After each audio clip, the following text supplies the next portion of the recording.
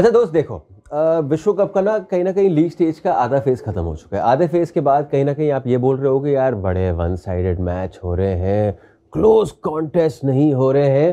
पिछले दो दिन में जो हो रहा है, शायद आपकी सोच थोड़ी बदली होगी। और अगर आप सोच रहे हो, यार मेरा विश्व कप का सबसे बेहतरीन मुकाबला कौन है? तो फिर दोस्त, अब तो बात पक्की है। ऑस्ट्रेलिया, बनाम न्यूजीलैंड, धर्मशाला में जहाँ पे ऑस्ट्रेलिया ने ये जीत अपने नाम करी just by the barest of margin बहुत टाइम तक लग रहा था कि कहीं ना कहीं न्यूजीलैंड चेस कर लेगी भाई चेस कर लेगी। और आगे जो सेमीफाइनल का रास्ता है, वो तो ही ऑस्ट्रेलिया ने कहीं ना कहीं, आप कह सकते हो अब तय कर रहे हैं। और वो जो चार की जो गाड़ी है ना टॉप चार की गाड़ी, अब आगे बढ़ रही है। आप देख रहे हैं ESPN cricket for match day Hindi, जहाँ हमारे साथ आज स्टूडियो में एक नहीं, दो एक्सपर्ट दीपदास गुप्ता चेतेश्वर पुजारा, बनता भी है सर, मुकाबला। इतना बड़ा। चेतेश्वर पहले आप ये बताओ कब तक आपको लग रहा था कि न्यूजीलैंड जीतने वाली है ये मुकाबला? देखिए आखिरी बॉल तक पॉसिबिलिटी थी। इतना हाँ। क्लोज गेम था कि जिस तरह से उन्होंने चेज करना स्टार्ट किया एक दो विकेट गवाए बट उसके बाद भी जो टेंपो उन्होंने सेट करा करके रखा था हम्म। तो पूरे मैच में वो गेम में थे। रन रेट में भी ऑलमोस्ट साथ में थे सात रन ऑलमोस्ट हर ओवर में बना रहे थे। तो कहीं भी मैच में पीछे नहीं थे। हम्म। चालीसवें ओवर के आसपास कहीं विकेट गवाए वो थोड़ा उनको भारी पड़ गया। बट देखा जाए तो पूरा मैच इतना इंटरेस्टिंग था कि कोई भी सिचुएशन पे आप ऐसा नहीं कह सकते कि न्यूजीलैंड ये मैच नीशम के विकेट के बाद थोड़ा लगा कि ऑस्ट्रेलिया अब लगता है ऑस्ट्रेलिया जीतेगी देखिए आखिरी बॉल में छह रन कोई भी प्लेयर बना सकता है वैसा नहीं है। तो सुपर ओवर भी हो सकता था जी। यस बिल्कुल। पॉसिबिलिटी थी। आखिरी बॉल तक मैच इंटरेस्टिंग था और credit goes to both the teams क्योंकि जिस तरह से ऑस्ट्रेलिया ने बल्लेबाजी करी पहले और उसके बाद जिस तरह से न्यूजीलैंड ने बल्लेबाजी करी I think it was batters day दोनों टीम ने बहुत बढ़िया बल्लेबाजी की सर मैं मैं तो ये कह रहा हूँ मतलब चलो उनके ड्रेसिंग रूम में तो नहीं जाएँगे because they so into the game हम बोलेंगे आज ये ऐसा मुकाबला है जहाँ पे कोई भी टीम नहीं हारी है। जहाँ पे एक्चुअली में क्रिकेट की जीत हुई मैं न्यूजीलैंड के ड्रेसिंग में उन्हें डंडे मार के मुझे भगा देना है वहाँ से। So cliched ना। So, but actually में if you look at it from that point of view, you cannot declare a loser.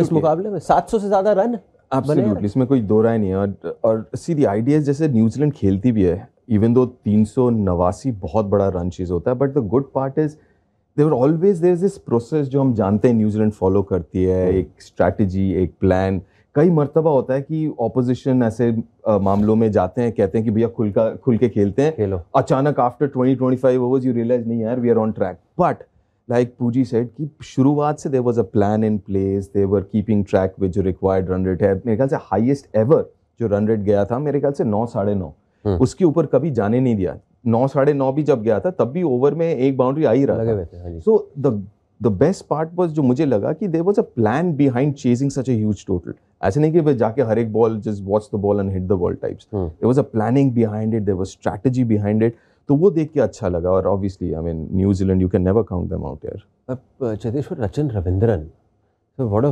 In in a losing cause एक होता है ना हम लोग बात कर रहे थे कि अच्छा प्लेयर है दिख रहा है कि बड़ा तगड़ा प्लेयर है। एक होता है कि यार ये बंदा ना खाएगा विश्व क्रिकेट को खाएगा आने वाले कुछ सालों तक वैसा प्लेयर लग रहा है। बिल्कुल और सिर्फ़ तेईस साल के देखिए हम्म। जिस तरह से उन्होंने आज मैच्योरिटी दिखाई क्योंकि एक तेईस साल का प्लेयर जब आप बड़ा टोटल चेज कर रहे हैं तो बहुत जल्दी से पैनिक हो सकता है एक्सपीरियंस उनके पास बहुत ज़्यादा नहीं है हम्म। बट जिस तरह से बल्लेबाजी करी वैसा लग रहा था कि बहुत ज़्यादा एक्सपीरियंस है बहुत ज़्यादा मैच्योरिटी थी उनमें और अ, जो देखने वाली बात ये थी कि क्रिकेटिंग शॉट्स के लिए देखिए आप जब चेज कर रहे हैं बड़ा टोटल तो जैसे दीप भाई बता रहे थे कि you sometimes you try playing too many shots आप बहुत ज़्यादा शॉट्स खेलते हो और वहाँ पर विकेट गवा देते हो। बट उन्होंने स्ट्राइक रोटेट करी। जब भी बॉल उनकी रेंज में आई तभी उन्होंने शॉट्स मारे। वो उनके कंट्रोल में थे। हम्म। मतलब बॉल उनकी रेंज में था और जो शॉट्स खेले वो बहुत ही कंट्रोल्ड शॉट्स लग रहे थे। और मैं काफ़ी टाइम से कहता रहा हूँ कि अगर आपको चेज करना है तो आपके पास एक टेंपो होना चाहिए। जो आजकल टीमें नहीं दिखा पा रही है। अगर साउथ अफ्रीका की बात करें जिस तरह से पाकिस्तान के सामने वो खेल रहे थे वहाँ पर चेज में कहीं ना कहीं उन्होंने बहुत ज़्यादा स्ट्रगल किया.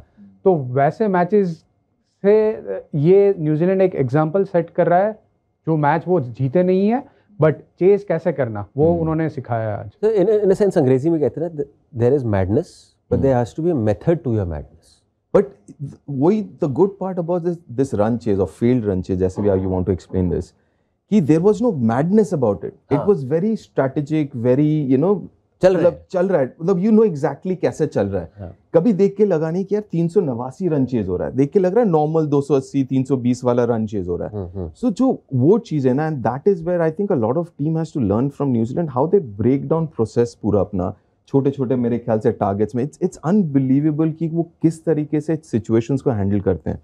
And I think like Puji से it's it's a great example to to learn कि यार आप बड़े रन चेज भी कंट्रोल में रख के चेस कर सकते हैं। ऐसे नहीं पागलों की तरह बल्ला घुमा के बट हम्म। कंट्रोल में रख के रन चेस कर सकते हैं। और ऐसा भी दे हैव जितना उनका बैटिंग डेप्थ है इट्स ऑलमोस्ट सभी टीम के पास उतना ही बैटिंग डेप्थ है. आठ नौ तक almost every one has hmm. That kind of depth तो it's it's just unbelievable Neesham साहब ने पिछले वर्ल्ड कप के बाद ट्वीट किया था कि जी छोड़ दो। मतलब cheeky this thing hmm. Take a backing अब कौन सा ट्वीट करेंगे? Because very nearly someone who is come under lot of criticism comes under lot of criticism sometimes की मतलब आप इनको टीम में कैसे ला रहे हो? किस लिए ला रहे हो? मैं समझ में नहीं आ रहा है इनका एक्चुअल रोल क्या है? थोड़ी गेंदबाजी करते हैं थोड़ी बल्लेबाजी करते हैं लेकिन आज ऑलमोस्ट ऑलमोस्ट यार अर्जुन आप अगर न्यूजीलैंड के टीम उठा के देख लो limited overs you always find players like this के जो छः सात पे आठ पे बैटिंग कर करते हैं फिर बीच में पाँच छः ओवर भी डाल देते हैं। It's nothing new please understand कि वहाँ पे उतना टैलेंट पूल नहीं है। So I think the greatest strength उनका ये है कि जो भी लिमिटेड है they try and maximise that talent pool. और ये कोई नई बात नहीं आप उठा के देख लो अस्सी नब्बे के दशक से आपको लासन और ऐसे बहुत क्रिस हैरिस ऐसे हम्म। बहुत प्लेयर मिल जाएँगे जो वो छः सात पे आके बैटिंग कर लेते हैं थोड़ा बहुत फिर छः सात ओवर भी डाल देते हैं अच्छा दिन होगा तो दस ओवर डाल देंगे so I don't think this is this is anything different New Zealand के नज़रिए से। और आपको ऐसे प्लेयर चाहिए। मेरे हिसाब से आपको एक नीशम जैसे प्लेयर चाहिए जो नंबर सात पे अच्छी बल्लेबाजी हम्म। कर सके क्योंकि वो पावर प्लेयर है। देखिए आप उसको ऑलराउंडर की तरह से देखेंगे तो शायद उतने अच्छे ऑलराउंडर नहीं है। बट न्यूजीलैंड को उनको बैट्समैन की तरह देखना होगा। बैट्समैन जो थोड़ी गेंद डाल सकता है। और उनका रोल बॉलिंग में नॉर्मली देखा जाए तो वो ओवर दस से लेके ओवर चालीस के बीच में। डालते हैं। आज उनको डेथ होज में डालना पड़ा क्योंकि एक बॉलर शॉर्ट थे इंजरी की वजह से. बट देखिए वो एक पावर प्लेयर है और उनका रोल इम्पोर्टेंट है न्यूजीलैंड टीम के लिए और आगे जाके मुझे लग रहा है कि ये प्लेइंग इलेवन में रहेंगे क्योंकि उनका। जैसे ये मैच में प्रदर्शन रहा। और देखिए अभी देर इज़ अ पॉसिबिलिटी कि टीम सऊदी वापस टीम में आएँगे इंजरी की वजह से. तो वहाँ पर आपको एक गेंदबाज का और ऑप्शन मिलता है अगर नीशम खेलते हैं तो. अगर तीन या चार ओवर भी डालने पड़े बीच में तो उनके पास वो टैलेंट है कि वो गेंदबाजी भी कर सकते तो हैं हम लोग रोमांटिसाइज अभी कर रहे हैं हीरोइक परफॉर्मेंसेस को कि मतलब नहीं ले पाए लेकिन एक यू नो तगड़े परफॉर्मेंसेस लेकिन अक्सर इन बड़े मुकाबलों को तय किया जाता है उन छोटे मोमेंट्स ओह यस आखिरी ओवर और वो जो Oh, आपकी yeah. Fielding stage fielding oh yes चाहे मैक्सवेल साहब हो या लाबुशन सर मैक्सवेल का तो हमें लग रहा था हम चला रहे चौका चौका चौका। भाई साहब आ गए वहाँ पे स्पाइडरमैन की तरह। वहीं लाबुशेन भी आ गए कहीं से।